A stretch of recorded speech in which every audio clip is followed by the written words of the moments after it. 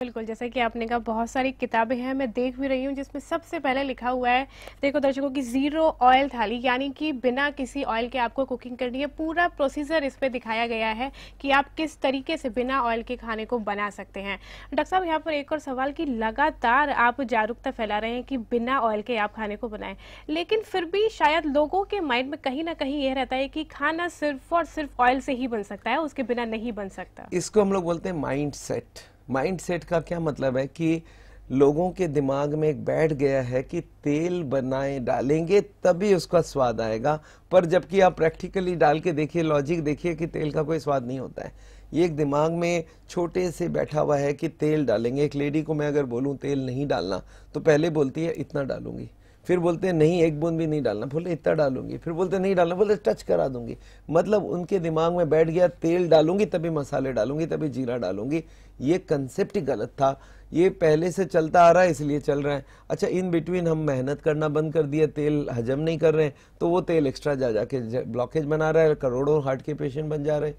तो ये समझ लीजिए, आपको तेल का ज़रूरत ही नहीं है माइंड सेट को बदलिए, क्योंकि स्वाद सेम टू सेम है। मैं जब खाना पहले पहले बना के खिलाता था, मेरे पेशेंट आके बोलते थे, सर, हो ही नहीं सकता ये बिना तेल के, इसमें ज़रूर तेल डाला होगा। बिना तेल के तो बॉइल्ड होता है। अच्छा अगर लेडी को ज़्यादा जिद करो ना कि नहीं आप तेल डाल नहीं मत तो वो क्या करती है, वो पूरे मसाले हटा देती है। क्योंकि उनके दिमाग में बैठ चुका है, मसाला भुनना सिर्फ़ तेल में होगा। और तेल नहीं है तो मसाले भी नहीं है। तो फिर वो उबला हुआ खाता है। अच्छा मरीज़ ज़िंदगी भर वो उबला हुआ सब्ज़ी खाता है और डॉक्टर को गाली देता है। गलती वाइफ की है और गाली डॉक्टर खाए तो ये समझ लीजिए, एक प्रोसेस खराब हो गया था। अब हम इसको रेक्टिफाई किए कि तेल पूरा बंद कर दो, मसाले सारे होंगे। उनको भूनना कैसे है? बिना तेल के वो हम उनको कुकिंग के क्लास करवाते हैं हम लोग। और हमारी इसकी डीवीडी भी मिलती है। हमारे कोई भी क्लिनिक में जाइए ज़ीरो ऑयल की कुकिंग की डीवीडी मिल जाएगी। और अगर ज़ीरो ऑयल का आप सारा सब्ज़ी, सारा हमने थाली की एक ज़ीरो ऑयल थाली है हमारी बुक ज़ीरो ऑयल नमकीन है, इसमें पकौड़े, कचौड़े, समोसा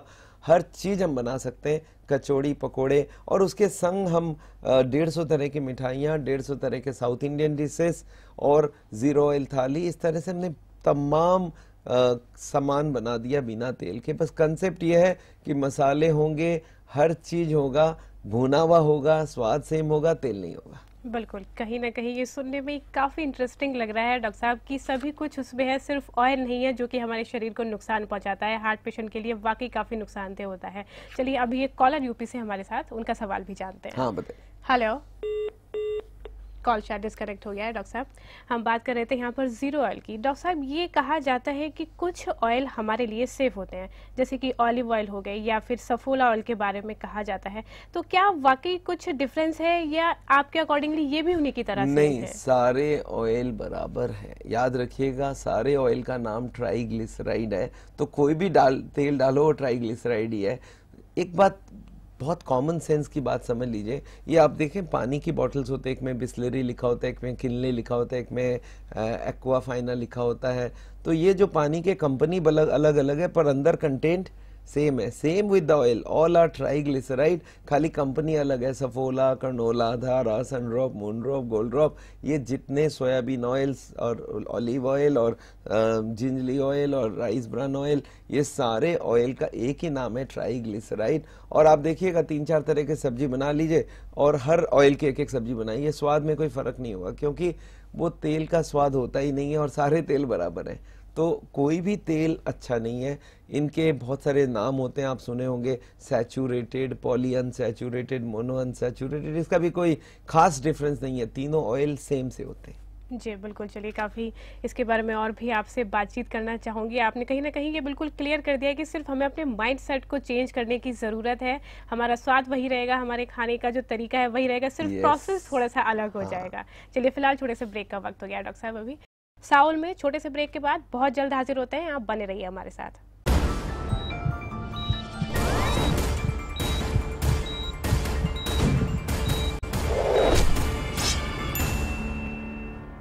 ब्रेक के बाद आप सभी का एक बार फिर से बहुत बहुत स्वागत है हमारे कार्यक्रम साउल में। आप सभी दर्शकों को बताना चाहती हूँ कि अगर आप डॉक्टर साहब से डायरेक्ट अपॉइंटमेंट लेना चाहते हैं या फिर जो डिफरेंट डिफरेंट सिटीज़ में डॉक्टर साहब के कैंप लगते हैं, उनको ज्वाइन करना चाहते हैं तो उसके लिए पूरा डिटेल सारे नंबर्स आप अपने टीवी स्क्रीन पर देख सकते हैं। डॉक्टर साहब, कार्यक्रम को आगे बढ़ाते हुए हमारे साथ अभी एक कॉलर जुड़ चुके हैं। पहले उनका सवाल जानते हैं जो कि डेली से हमारे साथ हैं। हेलो हेलो हाँ जी मैम। जी हाँ, शर्मा जी बताएँ क्या सवाल है आपका? मैं डॉक्टर साहब से ये पूछना चाहता हूँ मैम मैंने बारह साल पहले डॉक्टर साहब को चेक कराया था मैंने उनका कैंप कैंप अटेंड किया था। अच्छा अच्छा। तो मैं उनके बताए हुए तरीके पर चल रहा हूँ। जी। मैं ज़ीरो ऑयल पर हूँ। जी। मैंने आज तक कोई भी ऐसी चीज़ नहीं खाई जो मेरे को ऑयल से प्रॉब्लम करे। जी। आप कंफर्टेबल है ज़ीरो ऑयल खाना से? आपको एडजस्ट हो गया है पूरा? जी। बहुत बढ़िया। जी बताएँ। हेलो। हेलो। हाँ जी। शर्मा जी सुन पा रहे हैं आप हमें? हाँ जी। जी बताएँ अभी क्या कहना चाहते हैं आप इसके साथ मैं डॉक्टर साहब से ये कहना चाहता हूँ कि मैंने जो मैं जो मेडिसिन खा रहा हूँ उसमें एक एनजी स्पैन है और एक टॉर्वा है टेन एम की जी। और 2.5 एनजी स्पैन है और एक मेरी बीपी की टेबलेट है एम्बलोप्रेस एटी हाँ हाँ। मैं ये तीनों 12 साल से खा रहा हूँ मैं ये इनको बंद करना चाहता हूँ। जी। तो मुझे क्या करना चाहिए मैम? मैंने आज तक कोई एंजियोग्राफी वगैरह कुछ नहीं करवाया मैंने अभी तक। देखिए जी। 12 साल से आप इस पूरे प्रोसेस को फॉलो कर रहे हैं तो एक बहुत बढ़िया बात है कि 12 साल में आपको कोई दिक्कत नहीं हुई है और सिर्फ़ तीन दवाई से आपका मैनेज हो रहा है तो एक बहुत बढ़िया बात है शर्मा जी। और यही मैं बोलूँगा 12 साल में तो लोग तो हार्ट के पेशेंट्स को बोलते हैं, भाई, एक साल छः महीने में ही आपके कल तक हार्ट अटैक हो जाएगी।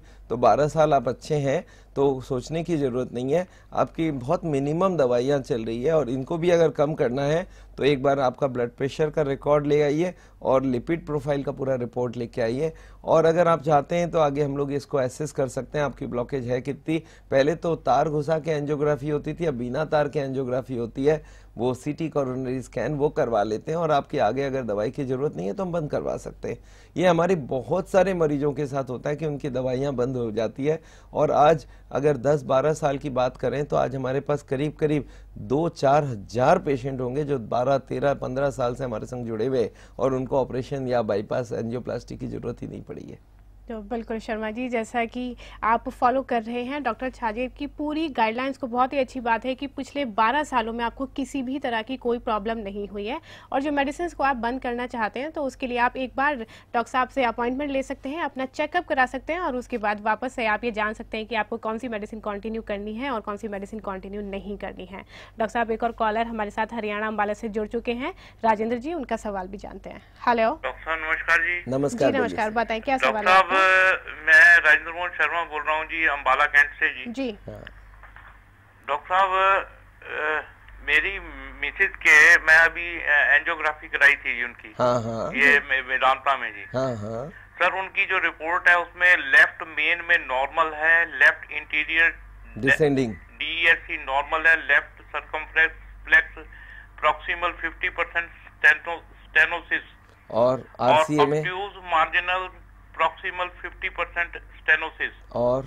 R C A dominant vessel mid 90 percent stenosis distal 70 to 80 percent stenosis post dissection क्या है normal final impression double vessel disease yes ये बताया है सर अब उन्होंने क्या बोला? आपको ऑपरेशन या स्टेंट लगाने बोला माइक मायोकॉर्डियल रिवेस्कुलराइजेशन हाँ हाँ।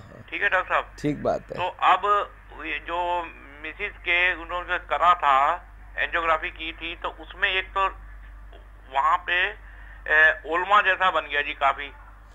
तो ये एंटीबायोटिक वगैरह दिए उन्हें हाँ, तो हाँ, हाँ। काफ़ी कम है। देखिए ये एंजियोग्राफी की एक साइड इफ़ेक्ट है। एंजियोग्राफी जब किया जाता है तो देखा जाता है वो जब तार घुसाते हैं तो कभी कभी वो गलत तरीके से तार घुस जाता है और उससे ये इन्फेक्शन हो जाना या कोई घाव हो जाना, कोई हिमाटोमा ब्लीडिंग हो जाना, ये बहुत कॉमन सी बात है। इनफैक्ट बहुत लोगों की जान भी जाती है। तो एंजियोग्राफी के मैं तो खिलाफ हूँ, पर अब आपकी एंजियोग्राफी हो गई है और एक कॉम्प्लिकेशन के साथ आप हैं। अब दोबारा angioplasty bypass surgery myocardial revascularization का कोई ज़रूरत नहीं है। आप हमारे सावल की प्रोसेस को फॉलो करिए, खान पीन, रहन सहन बदलाइए।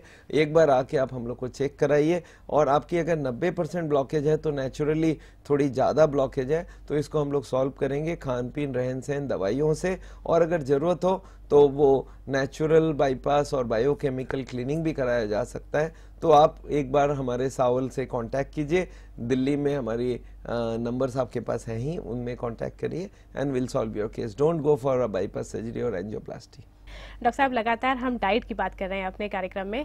अक्सर ये समझा जाता है कि हमारे शरीर को ऑयल की कोई रिक्वायरमेंट होती है और ये भी कहा जाता है कि जॉइंट्स को तो अगर ऑयल ना मिले तो उनमें मूवमेंट काफ़ी रुक जाता है या स्टिफ हो जाता है। तो आप कितना सहमत हैं? कितनी रिक्वायरमेंट हमारे शरीर को होती है ऑयल की? देखिए, हमारे शरीर को जितनी तेल की ज़रूरत है, ऑयल की ज़रूरत है, वो भगवान ने हर, नेचर के हर खाने के अंदर डाल के रखा है। अगर हम चावल खाते हैं, एक ग्राम तेल होती है सौ ग्राम में। अगर गेहूँ खाते हैं, उसमें एक परसेंट तेल होता है। अगर हम दाल खाते हैं, पाँच परसेंट तेल होता है। हर फ्रूट्स में, हर वेजिटेबल में कुछ ना कुछ तेल डाल के रखा गया है भगवान की तरफ़ से। हमारी ज़रूरत उसी से पूरी हो जाती है। आप ये सोचिए, भगवान ने तेल की फैक्ट्री नहीं बनाई थी। भगवान ने हमें बनाया था पेड़ पौधों को बना दिया था, दोनों की बंदोबस्त कर दी थी। तो तेल अलग से कोई डालने की कोई ज़रूरत नहीं थी। तो ये तेल की फैक्ट्रियाँ बनने के बाद हार्ट अटैक के चांसेस ज़्यादा हो गए। तो भगवान ने तेल की फैक्ट्री नहीं बनाई थी। और सोचिए एक बार, जानवर लोग तेल कहाँ से खरीदेंगे? आप तो खरीद के बोल रहे ज़रूरत है। जानवर की जॉइंट सबसे अच्छी रहती है। तो ये समझ लीजिए, जितने मोटे मोटे तेल खाने वाली लेडीज़ हैं, उनका जाके जॉइंट देखे सब खराब हो गया तो तेल से जॉइंट का कोई संबंध नहीं है। एक मन में है कि भाई, तेल से जॉइंट हिलती है, पर वहाँ साइनोवियल फ्लूड होता है, उसमें फैट नहीं होता है। तो वो आपकी बॉडी अपने आप बनाएगी। अगर आप मोटे रहेंगे तो आपकी साइनोवियल फ्लूड रहते हुए भी आपकी जॉइंट खराब हो जाएगी। तो आप अगर ज़ीरो ऑयल खाते हैं तो आपका मोटापा भी ठीक होता है ब्लड प्रेशर भी ठीक होता है शुगर भी ठीक होती है हार्ट की बीमारी भी ठीक होती है। तो आप ये ज़ीरो ऑयल फॉलो करिए और ये सोच के चलिए ऑयल का कोई बॉडी में ज़रूरत नहीं है, अलग से। भगवान ने हर खाने के अंदर तेल दिया है, बहुत कुछ है हमारे लिए। कोई डरने की ज़रूरत नहीं है। जी बिल्कुल। दर्शकों जैसा कि डॉक्टर साहब ने बोला कि ऑयल की हमें अलग से कोई भी रिक्वायरमेंट नहीं होती है तो इसी के साथ एक बार फिर आपको याद दिलाना चाहती हूँ कि डॉक्टर साहब से अपॉइंटमेंट लेने के लिए या फिर उनके कैंप्स को ज्वाइन करने के लिए आप पूरा डिटेल अपने टीवी स्क्रीन पर देख सकते हैं। डॉक्टर साहब और लास्ट में एक और छोटा सा सवाल आपसे करना चाहती हूँ कि ज़ीरो ऑयल कुकिंग की जो हम बात कर रहे हैं वो सिर्फ़ और सिर्फ़ हार्ट पेशेंट के लिए है या बाकी एक नॉर्मल पर्सन को भी यही फॉलो करना चाहिए? देखिए आज का जो जमाना है किसको ब्लॉकेज हो रहा है, हमें नहीं पता। तो नॉर्मल आदमी सोच रहा है, मेरे पास ब्लॉकेज नहीं है, पर उसकी ब्लॉकेज अंदर हो सकती है। तो मैं लोगों को ये बोलता हूँ रिस्क लेने की कोई ज़रूरत नहीं। अट्ठारह साल से कम वाले बच्चे हों, उनको तो आप तेल वगैरह थोड़ा बहुत दे दीजिए, क्योंकि उनकी ग्रोथ की पीरियड है। अट्ठारह साल के बाद कोई भी मेल फीमेल को अलग से तेल की कोई ज़रूरत नहीं क्योंकि उनकी ग्रोथ बंद हो जाती है। बीस साल का भी प्लान बना लें। बीस साल के बाद आप कोई तेल की सेवन करने की ज़रूरत नहीं है, चाहे हार्ट के पेशेंट हो या ना हो। और अगर ऐसा करेंगे तो आपकी हार्ट की बीमारी आगे नहीं आएगी, ब्लड प्रेशर, डायबिटीज़ रुक जाएगी, मोटापा कम हो जाएगा। और आजकल हर कोई यही चाहता है कि सब मेरे को बीमारी ना हो। तो 18 साल के बाद हर आदमी के लिए ज़रूरी है। और हार्ट के पेशेंट को तो मैं 100 परसेंट फॉलो करवाऊँगा। बाकी लोगों को बोलूँगा चलो 90 परसेंट फॉलो करो घर पे तो 100 परसेंट करो कहीं जाओ पार्टी वार्टी में तो थोड़ी बहुत ले लो। पर हार्ट के पेशेंट के लिए मैं वो भी मना करता हूँ। मैं बोलता हूँ पार्टी जाएँगे हमारी एक किताब है टू हंड्रेड वन टिप्स उसमें सारा डिटेल जी बिल्कुल डॉक्टर साहब इन्फॉर्मेशन बाकी लेना चाहती थी लेकिन वक्त ने इशारा कर दिया है कि यहीं पर कार्यक्रम को विराम देते हैं। बहुत बहुत धन्यवाद आपका पूरी वैल्यूबल इन्फॉर्मेशन के लिए। थैंक यू सो मच दर्शकों एक बार फिर वक्त गया है। आप सभी से विदा लेने का आज के कार्यक्रम में बस इतना ही, और मुझे पूरी उम्मीद है कि आप इस गाइडलाइन को फॉलो करेंगे और अपनी सेहत का ख्याल रखेंगे। मुझे भी दीजिए आज्ञा। नमस्कार।